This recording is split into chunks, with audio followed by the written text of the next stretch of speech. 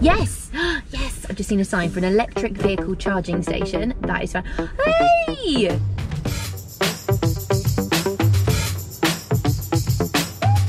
It's finally time to get rid of what we call the gas guzzler. But that was the past, this is the future, and I am going electric.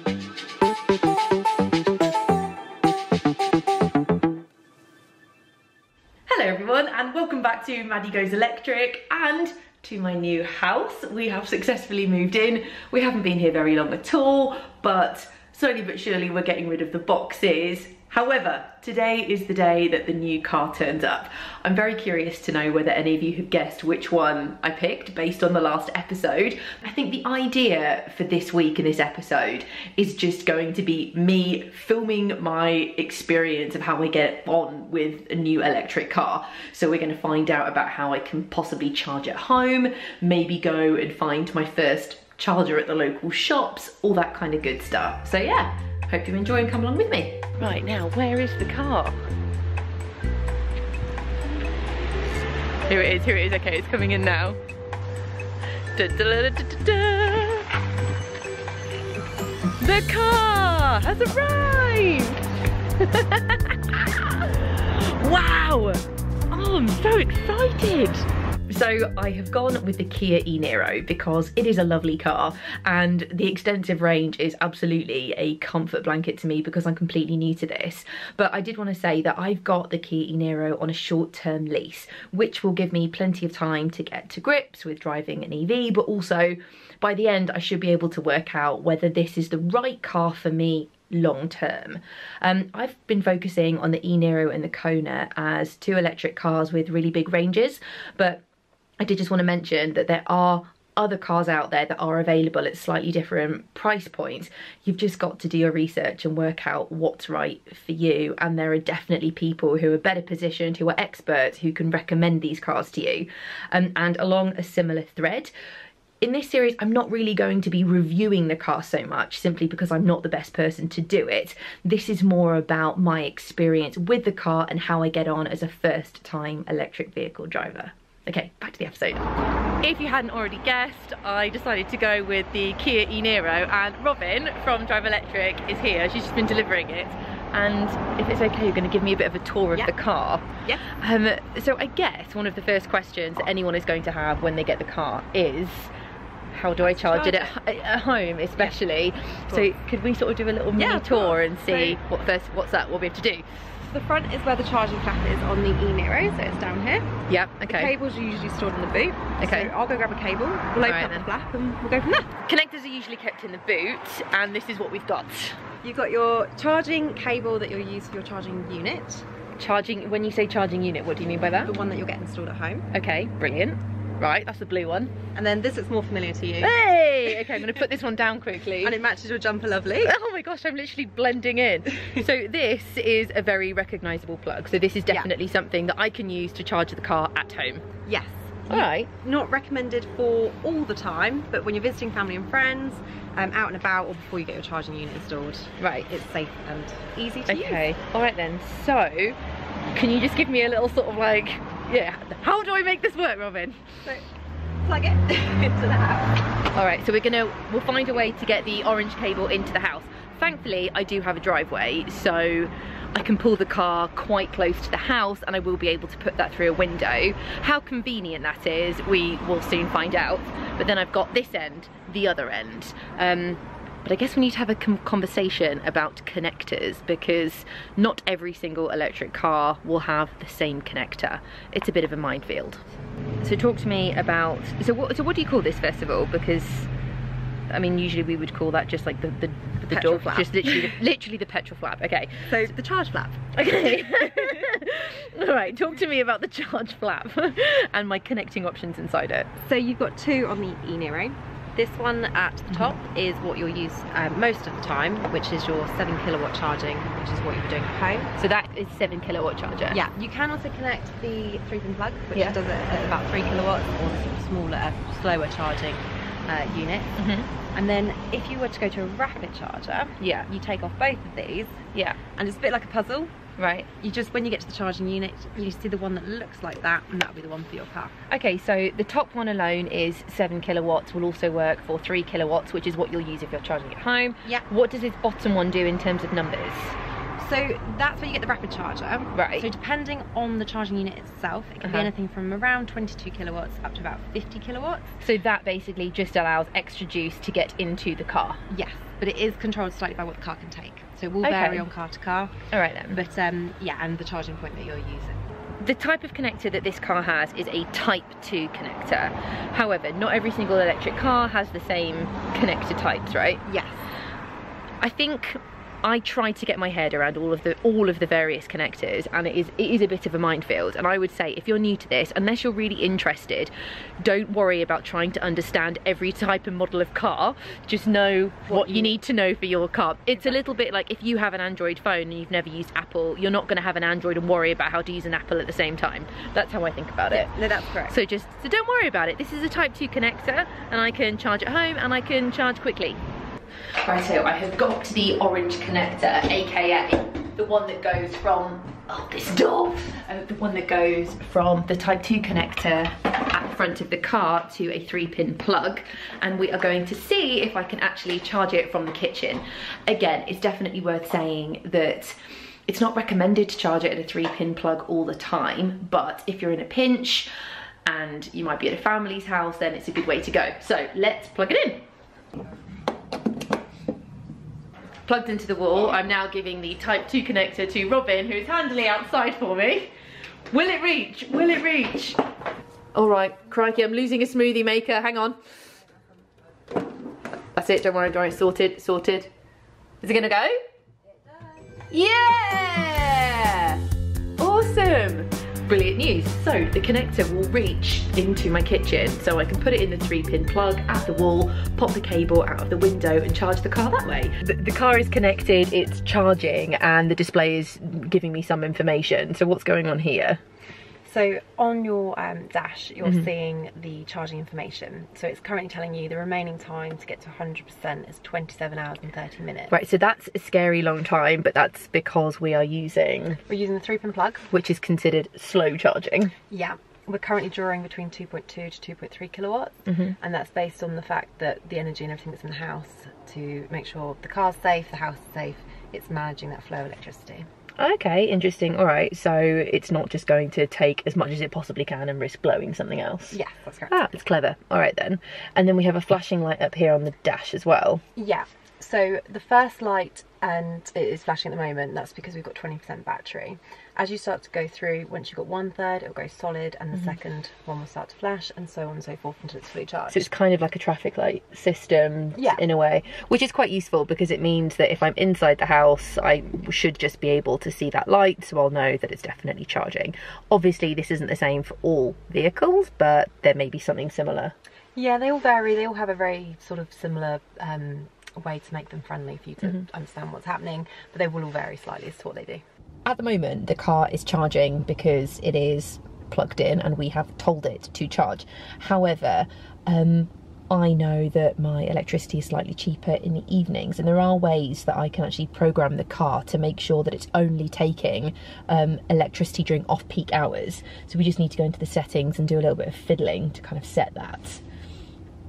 Um, we're just going into charge management, and then if you are a commuter, you can you just set your departure times when it is you're likely to leave the house, um, and once you've done that, you can then schedule your charging to use off-peak off-peak tariffs only, or off-peak tariffs um, prioritize them. And what was the the difference between those two?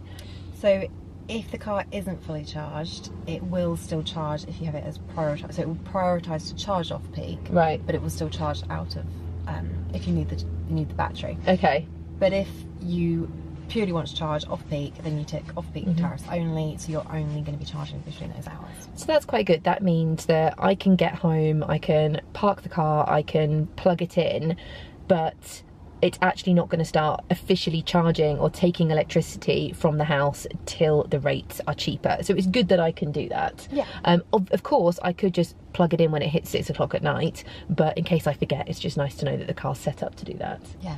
Brilliant. Thank you so much. That's okay. I'm so excited to sort of like, you know, get to know the car, have a bit of a play, um, and see how I get on. So thank you. You're welcome. Here we go. First month with an electric car. Greg, do you want to come and see the car? Yeah. Greg's just been working. Look, look what we have charging out of our kitchen window. I heard a load of kerfuffle, but I didn't want to interrupt. Ah! Robert! Yeah, we It's a have, beauty! we have the Robert De Niro. This Robert, not Robert Yeah. Llewellyn, although No. he's also a beauty. Robert De Niro. Yeah. Um, and the best news is, I wasn't sure if this cable, the orange one, was Yeah. going to was actually going to fit or was going to be long enough um, from, just to reach that- the driveway to the house. Ah, you got Yeah. that going to the house. So we're just using a standard three pin, which is incredibly slow, I was going to say, how long does that take? 27 hours. but it's only on 20% at the moment, so Okay, so uh, it's at the moment it's only got you about want 80% of 27 hours. Yeah, but the thing, the key is, lot of hours. but the key is not to think about it like that. All it's twenty percent, but what that means is that we've got about forty miles in it, Right. so which is enough to get us to somewhere where we can charge it faster, or definitely plenty for me to drop you to the station, I was get going back, to say, I and charge actually do with a lift. That's fine, I can do that. But the good thing is, we can leave this charging overnight when I think our electricity tariff is a bit cheaper, which is no, good. no, no, because then the window's going to be open. Yeah, the kitchen might get a bit cold, but we won't know. We're upstairs. It's- Okay. It's pretty Baltic in here now. The thing is, it's not necessarily the most convenient way to charge the car. We know that, and I'm going to look into getting a charge point, a little box put on the outside of the Ooh. house, so we don't have to worry about this. You say little, is it actually little? yeah, Is it? yeah. It's not like some Mahusiv, no, it's like which would also be fine. it's like the right? size of a lockbox, but you're going to have to wait till the next episode to find out about that. Oh, For now, we're enjoying the fact we can charge it slowly at home, and I will drop you off at the station. Thanks. I'm just waiting in the car for Greg, who is actually in a tux. because um, we've got to go to an award ceremony tonight, but he has to go into London early for meetings, and there he is! Looking dapper. Well, well, well. I've come. uh, Come on I've come- in. I've come dressed as the Robert. I see you have. I see you've dressed for the occasion. Your first. Gosh, it's. I mean, it's only your first drive in an electric it's- car. I you thought it was a, a quite special Clearly. time. Something to mark. Clearly. Ooh, Sure. Little funky start every time. Let's take park off and let's try putting it into reverse. Reverse. Cameras. Like if I was going down a hill, for example, I could take my foot off the pedal and I could actually regen quite a lot of electricity back into the battery. So right now I'm using it and you can see because the dial's going way over. If I pull back, there you go. Now I'm gaining, I'm gaining mileage. Cool, right? Very clever. There. Thanks for the lift. You're welcome. Um, right, I'm going to go and take myself onto the train. All right, have fun. Thanks. I'll see you catch you later, later. once you've had some personal time with Robert. Weird, but yeah. Weird. Strange. I've just finished dropping Greg off at the station and I went the long way home just so I could take Robert for a bit of a spin. And I'm going to let you into a little secret. I am actually a bit of a nervous driver. And with our previous car and every car I have owned previously, which have all been petrol, I've just felt like driving them has been a bit of a struggle. You know, you've always got to like try and fight to find the right gear, or you've got to pull it around corners, or the braking feels a little bit abrupt. Granted, I've not had the world's best cars, but you know, it, it's just been a bit, it's just been a bit tough. And that's not necessarily ideal if you aren't always that confident in the driver's seat. However, without fail, every single electric car I have ever driven, driven has felt the opposite of that. I don't know how to explain it other than that it just feels a bit more collaborative. The car is easier to drive and it's trying to help you out. I particularly find the regen, that's the whole, the car essentially brakes for you. I find that so helpful. So all I'm trying to say here is forget about the benefits of electric cars versus petrol for a second. Forget about the costs and all of the other sort of factors. If you're a nervous driver and you want something that you might actually enjoy driving, seriously consider electric because they're fun and simple to drive. So that is what my thoughts are after my first drive today. It's been a few days, um, and the orange cable, the car, the kitchen window, and myself have been getting on considerably well. Uh, but let's be honest, it's not the most practical way to charge a car. So I'm finally biting the bullet and I'm going in search of a charge point. So this is going to be my first proper charge away from the house.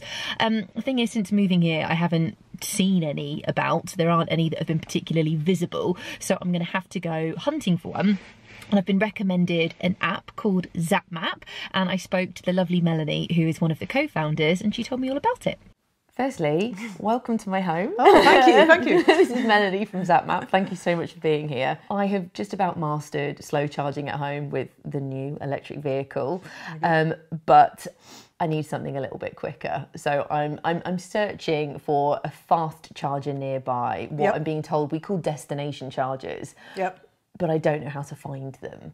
Um, Great. And that's well, where you come in. That's right. That's where I come in. Yeah. You, so you can, you can look at ZapMap, and ZapMap's a map of public charging points all around the UK. So there's over 10,000 public charge points available for, for people to charge at, um, and over 15,000 devices. Does that surprise people? Because 10,000 is a lot. Yeah, it's, it's an awful lot of charging points, and in fact, um, there are more charging locations than there are petrol stations, and that definitely surprises people. Wow, I, Hmm. I would not have thought that at all actually. So how, how do I find out what's available to me in my area?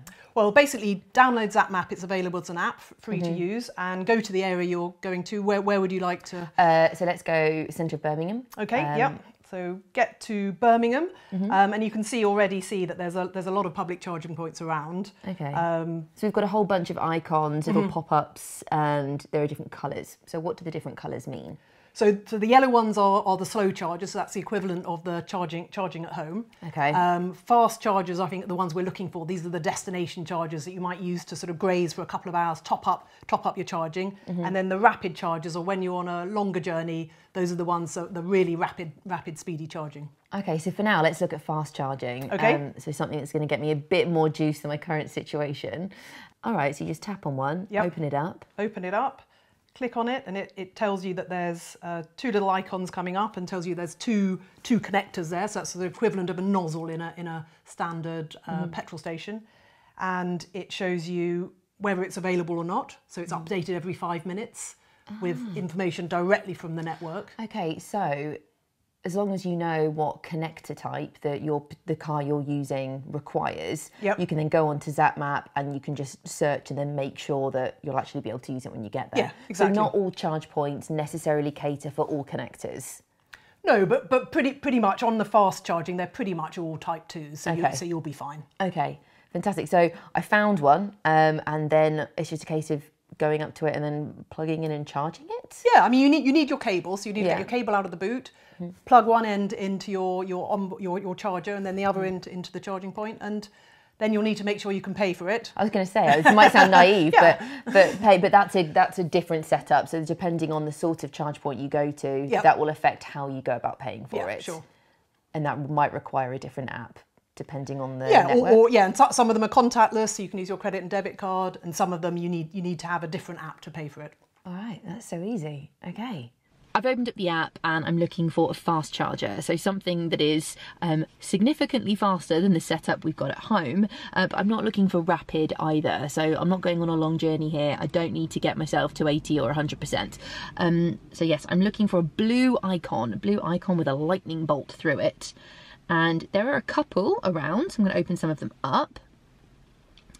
This one is restricted. It's at um, a car dealership. This one is at a car park, and I don't particularly fancy just going to sit in a car park because I don't actually have any jobs to do. So, what are my other options? Okay. Ah, interestingly, there is one at a local pub, which I didn't expect. I didn't expect actually. So perhaps I could go there because I am in need of lunch. It is nearly two o'clock and I haven't eaten yet. So I'm going to head there. I'm just going to open it up and check that it's actually working. Hello, come on. No issues reported. Type 2, that's what I've got. That's a good thing. Right, looks like we're going to the pub. See you in a second. Right, the pub definitely has a car park, so I'm going to assume it's up here. Yes! yes! I've just seen a sign for an electric vehicle charging station. That is fine. Hey! Bloody! Gosh, that's so simple. I can't believe how simple that is.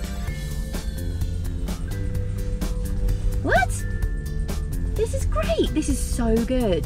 Oh my gosh, talk about an entry level charging point. Right, I'm switching things up, changing the cameras. Let's go and have a little look. Okay. Firstly, no one's about. Uh, that's it. It really is that simple. It's just a plug. Plug in the wall. My one is just there and all I need to do is get my cable out and connect the two. Surely, surely this is too easy. I guess, wow, okay. I'll get the get my cable out then. Okay, with type 2 cables you have two ends. Both of them are type 2. One of them is a male, one of them is a female. Basically one is smaller than the bigger one. Doesn't really matter, just use the one that fits, right? Okay, so into this plug I am putting the female type 2, just like so. In it goes, no drama. Gosh, I really don't have to do anything. I don't even have to download an app. Okay, and now we'll move you over to the car so we can plug this one in. This is the other end of the Type 2, plug it in, wait for something to happen. That's locked in place, I can hear it click, and if we're charging, it should go green. It's going green. This was so easy! Genuinely surprised how easy that just was. Um, I didn't plan this, but as as charging stations go, I really do feel like this is entry level. Um, I know that if you were to use ones that are on the motorway or especially faster chargers that you'd absolutely have to download some sort of app or at least hand some money over. The best thing about this is that it's free. I mean, I'm assuming the reason the pub offer this is because it's something um, for for their customers and it looks like they've got some sort of like little holiday lets or some accommodation as well so it's just a great thing to offer people. But the fact this is only a short while away from the house is great. Well this is charging so I think I'm going to maybe have a ploughman's um, I hope you've enjoyed this episode and as always thanks for watching if you have been and I'll see you next time. Bye